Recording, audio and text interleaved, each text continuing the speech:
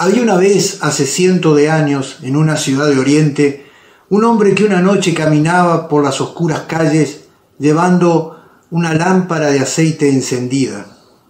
La ciudad era muy oscura cuando no había luna, como en aquella noche.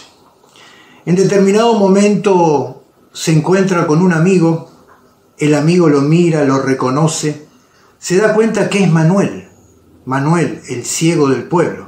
Entonces le dice, ¿qué haces Manuel, tú ciego, con la lámpara en la mano, si tú no ves? A lo que Manuel le responde, yo no llevo la lámpara para ver mi camino, yo conozco la oscuridad de las calles de memoria. Llevo la luz para que otros encuentren su camino cuando me vean a mí. No solo es importante la luz que me sirve a mí, sino que también la que yo uso para que otros puedan también servirse de ella. Cada uno de nosotros puede alumbrar el camino para uno y para que sea visto por otros, aunque uno aparentemente no lo necesite.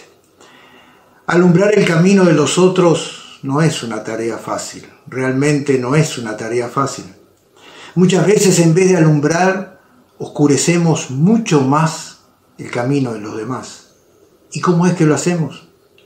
A través del desaliento, la crítica, el egoísmo, el desamor, el odio, el resentimiento.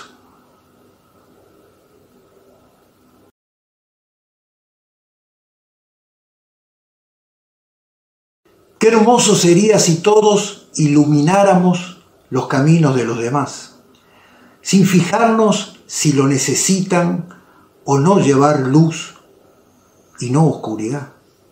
Si toda la gente encendiera una luz, el mundo entero estaría iluminado y brillaría día a día con mayor intensidad.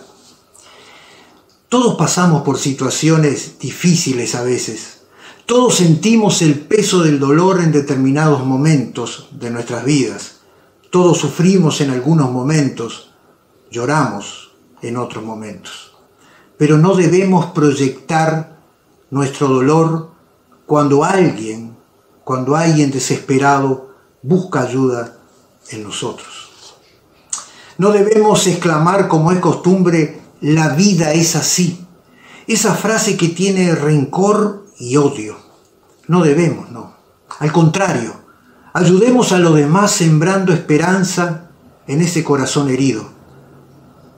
Nuestro dolor es y fue importante, pero se minimiza si ayudamos a otros a soportarlo, si ayudamos a sobrellevarlo. Luz, demos luz. Tenemos en el alma el motor que enciende cualquier lámpara la energía que permite iluminar en vez de oscurecer. Está en nosotros saber usarla. Está en nosotros ser luz y no permitir que los demás vivan en las tinieblas.